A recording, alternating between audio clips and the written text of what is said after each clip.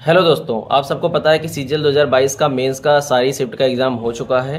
बहुत सारे लोग पूछ रहे हैं कि कट ऑफ़ कितनी जाने की उम्मीद है। देखिए, इस बार वैकेंसी सबसे ज़्यादा थी तो थोड़ा उम्मीद लगा पाना मुश्किल हो रहा है और एक तो आंसर की नहीं है, एक बार आंसर किया जाए और आ जाए और उसमें हम ये थोड़ा अंदाज़ा लगा लें कि कितना कितना लोगों ने स्कोर किया है, क्योंकि मैंने बहुत सारे लोगों से पूछा तो ऐसा नहीं है कि बहुत ज़्यादा डिफ़िकल्ट पेपर आया है।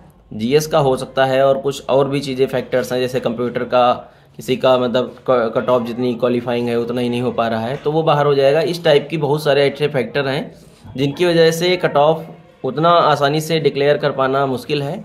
फिर भी मैं आप सबों को एक चीज़ बताना चाहता हूँ कि अगर किसी के मार्क्स अगर 270 से कम आ रहे हो मतलब अभी आपने पेपर दिया होगा, और आप अंदाज़ा लगा ही लिए होंगे कि आपका स्कोर कितना आने वाला है। अगर 270 के नीचे आ रहा है तो आपको अभी से 2023 की तैयारी प्रीलिम्स की स्टार्ट कर देनी चाहिए। और अगर इसके ऊपर आ रहा है, फिर भी आपको तैयारी तो स्टार्ट करनी ही पड़ेगी। हाँ अगर आपको तैयारी बंद करना है तो मेरा ऐसा अंदाज़ा है कि कम से कम 310 मार्क्स के अगर आपको ऊपर आ रहे हैं तो आप तैयारी बंद कर सकते हो, क्योंकि आपका इसमें अच्छा स्कोर भी है और आपको अच्छी पोस्ट मिल जाएगी। लोकेशन का भले ही उसमें भी हो सकता है इशू रहे, क्योंकि तीन सौ तीन सौ दस मार्क्स ऐसे नहीं है कि जहाँ पर आपको मतलब ये हो जाएगा कि हो गया और अच्छी लोकेशन मिल गई, क्योंकि जो मैक्सिमम वैकेंसीज हैं वो 2400 ग्रेड पे की हैं और अच्छी वैकेंसी और अच्छी लोकेशन पे मिलने के लिए मुझे लगता है कि 310 मार्क्स भी काफ़ी नहीं होंगे, कम ही पड़ जाएँगे। तो इसलिए जिसके भी 270 से नीचे आ रहे हैं, वो तैयारी स्टार्ट कर दो।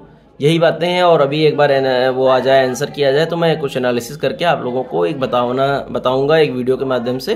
तब तक के लिए आप तैयारी स्टार्ट कर दो, अगर दो सौ सत्तर से नीचे हो। धन्यवाद।